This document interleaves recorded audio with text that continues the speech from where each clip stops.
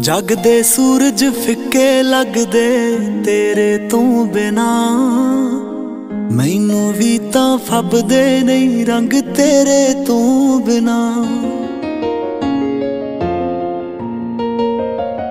ਜਗ ਦੇ ਸੂਰਜ ਫਿੱਕੇ ਲੱਗਦੇ ਤੇਰੇ ਤੋਂ ਬਿਨਾ।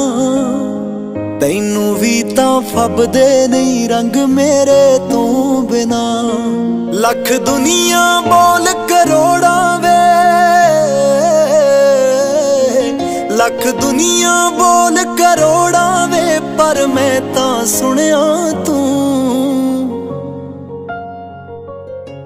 ਮੈਨੂੰ ਹੋਰ ਨਹੀਂ ਕੁਝ ਚਾਹੀਦਾ, ਮੇਰੀ ਤਾਂ ਦੁਨੀਆ ਤੂੰ।